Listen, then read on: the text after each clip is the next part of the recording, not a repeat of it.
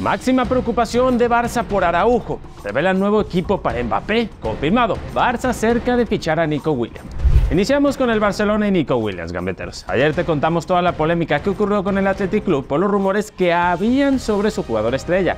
Y el Barça, bueno, ni tan rumores. El fichaje del extremo español al equipo culé parece que ya es inevitable. En primera, porque una agencia inmobiliaria de Barcelona confirmó que el representante de Nico Williams, Félix Taita, ya le estaría buscando un nuevo hogar en la ciudad de Castelldefels. En esta ciudad viven varios jugadores del plantel culé y hay varios barrios exclusivos en el cual podría vivir Nico. Además, Javier Tebas, presidente de la liga, soltó el bombazo. La máxima autoridad del fútbol español dio por hecho que el Barça puede fichar a un jugador como Nico Williams. Si Barça llega a la norma 1-1, podrá fichar a Nico. Hay que pensar que con el esfuerzo de Barcelona en reducir en más de 200 millones su masa salarial y las palancas, perfectamente puede incorporar a un jugador como Nico Williams. De momento, el Barcelona habría llegado a un acuerdo con Nico y su entorno, aún no con el Athletic Club. Sin embargo, Mundo Deportivo explica que el Barça hará un movimiento formal para ficharlo después de la final de la Eurocopa del domingo. Pagarían su cláusula de rescisión y su contrato sería por 5 años. Por cierto, mucho se ha dicho sobre que el Barcelona tendrá que vender a un pez gordo para poder fichar a Nico Williams, pero Sport aclara que el Barça ya no necesita de eso. Es verdad que les gustaría vender un jugador como Rafinha o Christensen, jugadores que no son indispensables y que dejarían un buen dinero si se les vende. Sin embargo, la directiva ya no tiene la soga sobre el cuello, ya no están obligados a vender para fichar a Nico. Grandes noticias para el Barcelona y ojito, que aún pueden dar la sorpresa con una o dos megas contrataciones más. Pasamos con el Real Madrid y Lunin Gambeteros. Ayer en Game News te contamos sobre el rumor de que Liverpool quiere fichar al portero ucraniano para la próxima temporada. Ahora Lunin le ha puesto más leña al fuego sobre su posible salida del Madrid. Estuvo en entrevista con Marca y explicó que su deseo es quedarse, pero su futuro está en las manos del club blanco. Aquí todo normal, sin embargo, dejó en claro que quiere jugar. Su sueño es ser titular la próxima temporada con el Madrid, pero sabe perfectamente que Courtois está arriba de él al ser uno de los mejores porteros del mundo. Parece que hay muchísimas dudas e incertidumbres para el portero ucraniano. El Madrid no quiere sorpresas y aceptaría su salida si eso es lo que desea. Los blancos ya están trabajando en un plan B y ese es Kepa. Pese a no haber conseguido ser el titular tras la lesión del portero belga, ha dejado un muy buen sabor de boca en la plantilla gracias a su ética de trabajo y profesionalidad. Es por ello que la directiva merengue volvería a tratar de repetir la sesión de Kepa, ya que en el Chelsea no desearían tenerlo de regreso, pues ya tienen a Robert Sánchez y Petrovic. Por otra parte, sería una gran opción económica para el Real Madrid, ya que están gastados por los fichajes de Mbappé y Hendrik y todavía tienen que gastar una cantidad importante de dinero para reemplazar a Nacho en la central. Además, no habría problemas de egos en la portería. Kepa, con la frente en alto, aceptaría su rol, ser arquero secundario. Gambeteros en el Barcelona hay una preocupación máxima por Ronald Araujo. Se han encendido las alarmas. Como recordarán, el uruguayo salió lesionado el pasado sábado con su selección. Dicha lesión fue provocada tras despejar un balón contra Guillermo Arana y tuvo que salir a la media hora del encuentro. Desde entonces han pasado casi una semana y los culés aún no han recibido una información detallada sobre la lesión que sufre su valioso futbolista. De hecho, medios como Mundo Deportivo revelan que hay bastante preocupación en la entidad de Barcelona por cómo se produjo la lesión y temen que es un tema más serio de lo que se habría dicho. Este fue el pobre comunicado que sacó la Federación Uruguaya después de la lesión de Araujo.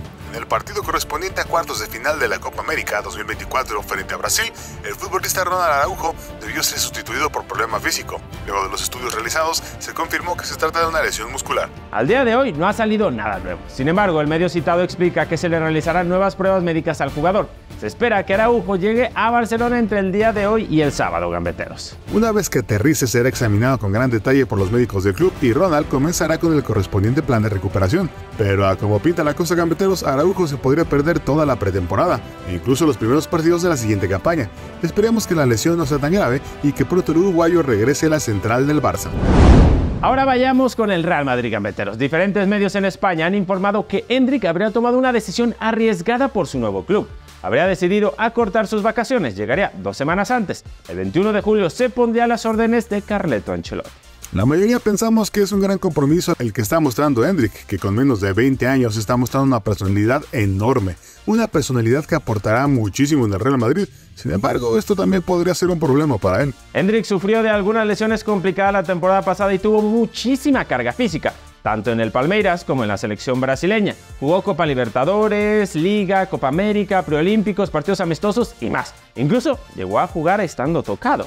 El no descansar esas dos semanas que va a sacrificar podría ser negativo para tener una recuperación total en su cuerpo. Es verdad que Enrique es joven, sin embargo, la siguiente temporada el Real Madrid jugará demasiadas competiciones. Tienen que ser sus cracks al 100% para enfrentarlas de la mejor manera. Jugarán la Liga, la Copa del Rey, la Supercopa de España, Supercopa de Europa, Champions League, la Copa Intercontinental y el nuevo Mundial de Clubes, que dicha competición tendrá más partidos en comparación a las ediciones anteriores. Dinos qué opinas, ¿hace bien Enrique en llegar antes a la pretemporada del Madrid o sí debería de aprovechar al máximo esas dos semanas de vacaciones?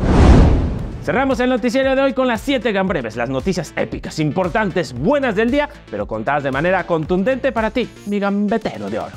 7. Presión de Carvajal a Yamal con Messi. Dani Carvajal en la entrevista le tiró un sinfín de flores a Lamin Yamal. Está jugando su primera Eurocopa y parecería que está jugando con sus amigos en el barrio. Carvajal no duda que Lamin marque una época, pero le dejó en claro que debe tener a Messi de ejemplo para lograrlo.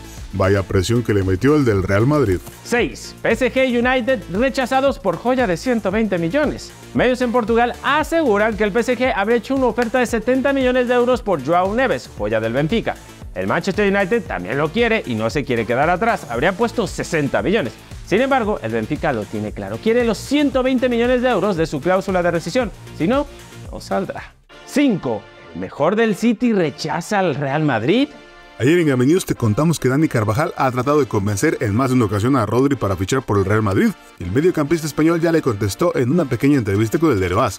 Estoy muy muy feliz en Inglaterra. Estoy en uno de los mejores clubes del mundo. Tengo contrato por tres años y cuando llegue el momento ya lo veré. Por el momento rechaza la idea de fichar por el Real Madrid, pero eso sí, inteligente y dejó la puerta abierta.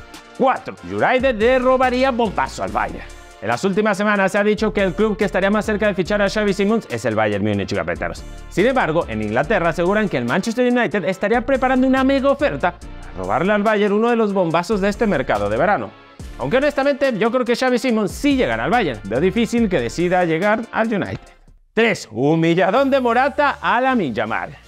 Regresando con el chico del Barcelona, Morata le pegó un baile. Los dos de la selección se enfrentaron en un uno contra uno y ganó Morata. Muchos creímos que el talento y habilidad sería Lamin el que ganaría, aunque también hay que aclarar que estos enfrentamientos solo son por diversión y nunca juegan a máxima intensidad. 2. Humillan a Madrid. Vergüenza para Barça en ranking. Gambeteros, la UEFA ha actualizado su ranking de clubes y hay varias y extrañas sorpresas. Muchos esperamos ver al Madrid en la primera posición al ganar la 15 y coronarse en la liga. Sin embargo, están en el segundo lugar. El primero es para el City. Por otra parte, sabemos que el Barça está pasando una época difícil, pero no es para tanto. No merece estar en el lugar 18. Hasta el Villarreal le gana. El submarino amarillo se encuentra en la séptima posición. 1. ¿Confirma el nuevo equipo para Mbappé? Medios en Francia han informado que Kylian Mbappé y su familia estarían analizando comprar un equipo de fútbol. Sería SMKN de la segunda división francesa. Sería un reto y algo hermoso que Mbappé lo compre, pues es el club de su infancia y ahí dio sus primeros pasos en este bello deporte. En caso de que lo compre y logrará subirlos, te leemos en los comentarios.